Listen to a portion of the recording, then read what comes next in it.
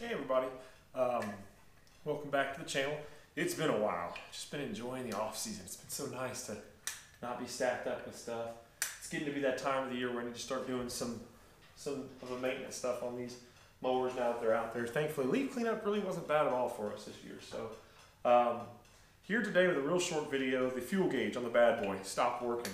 So I figured to make a quick video content about that since uh, apparently it's a pretty common problem, uh, not unique to Bad Boy, but to a lot of mowers in general.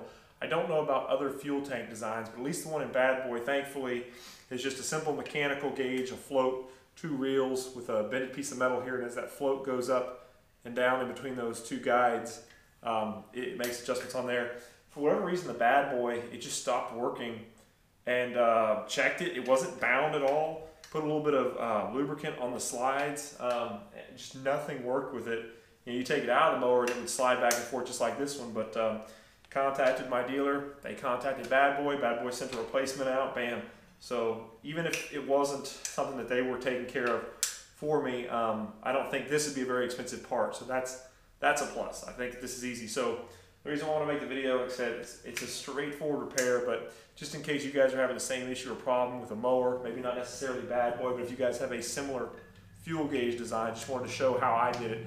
I'm sure there are probably better ways to do this if you have a specialized tool or something like that, but I'm just going to use two screwdrivers and we're going to get that thing uh, get that thing replaced. So the first thing that I want to do is just take a little bit of motor oil here and I mean just a little slick of it. And I want to grease up the, the new ring that's going to go in there. Just like I said, an ever so slight bit. You really can't even tell that um, it's there, but bam, that's done. So that should help guide that in there. All right, I'm going to get you guys repositioned back here on the trailer so you guys can see what I'm up to. Okay, you guys should be able to see in here our fuel gauge is right here on the top, and there's like a little bit of a, on the bad boy at least, there's a little bit of a gap in between where the pad, the operator pad, and the top of your instrument panel and control panel is where you can actually see down there. So I like having that, that fuel gauge just to know where I'm at. And it's been out for about a month or two. It just slowly started to get sticky and wouldn't read, and then it would finally just started reading empty or full and just staying there and hanging up. So if I was smart and I wanted to look professional, I would have tested this method out before I turned the camera on so I looked like I knew what I was doing. But that's just not my style. Now, I, admittedly, I have actually already removed this once um, just to see that I could. Um, but, you know, like I said, there may be some special tool or better tool to try pulling this with. But what I found is just tools that everybody should have. Um, and what I use is just a simple screwdriver. Put one up underneath one side of this guy just kind of get it pried up just a little bit. I mean, these things are fit very, very snug in the tank. And then once I had enough spacing underneath there, I was able to kind of wedge two of them up underneath and start to pry. So I literally just got them up. And, and keep in mind, this has been pulled off once. If you haven't pulled this off yet, this can be extremely difficult to do the first time around. This one's, ah. of course, I say that it's going to be easy.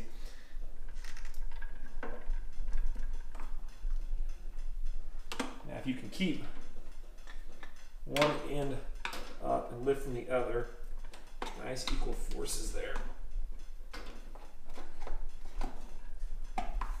There they are pressed in there really well. There we go. There you go. And that's it and I've got nothing. I got no idea.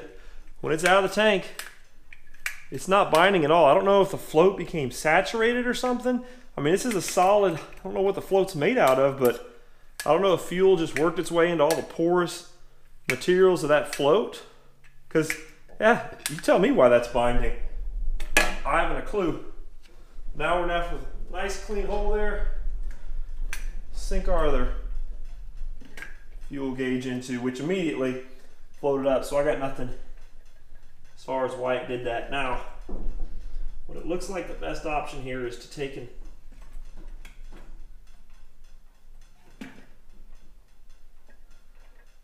I mean, these things are cut so fine. Take out our gasket.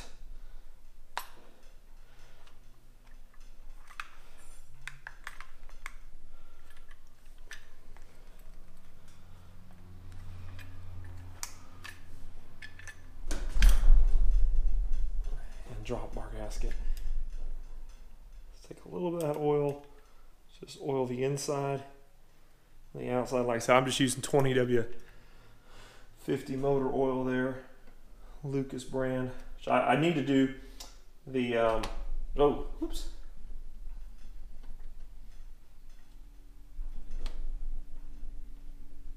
I need to do the, uh, my only concern is I do not want that getting pressed down into the tank.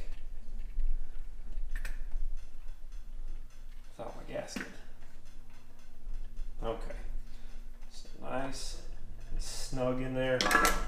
Really snug.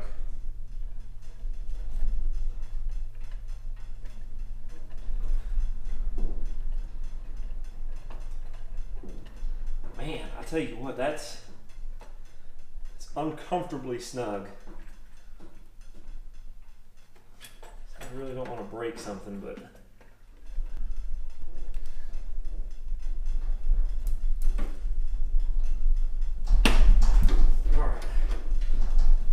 So that kind of snapped back into place. And we got a working fuel gauge. Again, I'm not sure how much I'm going to edit this video because I had to put pressure, get on top of it, put pressure just straight down, and it snapped into place. It's a lot more pressure than I was comfortable putting on it, but with an open hand, I guess we didn't get any. Everything's still working smoothly. Um, so yeah, that is changing out the gauge and that should be working.